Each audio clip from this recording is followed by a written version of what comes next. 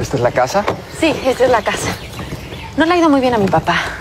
Vendió la casa de sus padres de México y con ella compró esta. Además, no está su coche. Yo creo que se fue a dejar a su hijo a la escuela. Es buen padre. Ah, es muy buen padre. Es el mejor.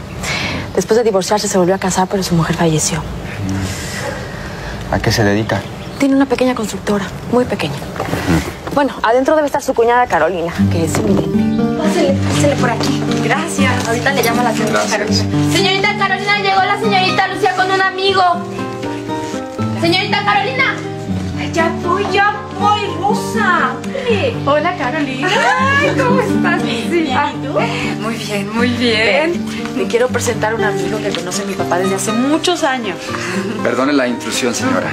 No, hombre, nada de eso. Me da muchísimo gusto conocer a los amigos de Lucía. Y más si ya conocí a mi cuñado. Hola. Me llamo Iván.